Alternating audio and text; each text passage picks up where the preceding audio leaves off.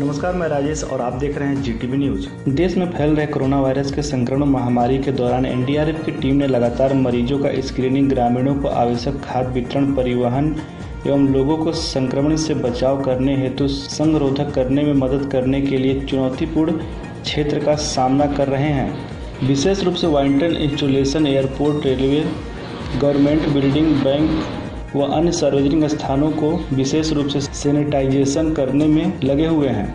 One battalion के NDRF ने अपने एओआर में सक्रिय रूप से भूमिका निभाया है। महानिदेशक एनडीआरएफ व असम सरकार के सचिव और पीएमओ ने वन बीएन के सैनिकों को सराहा है और रणधीर सिंह गिल, कमांडेंट अत्यधिक प्रेरणीय हैं।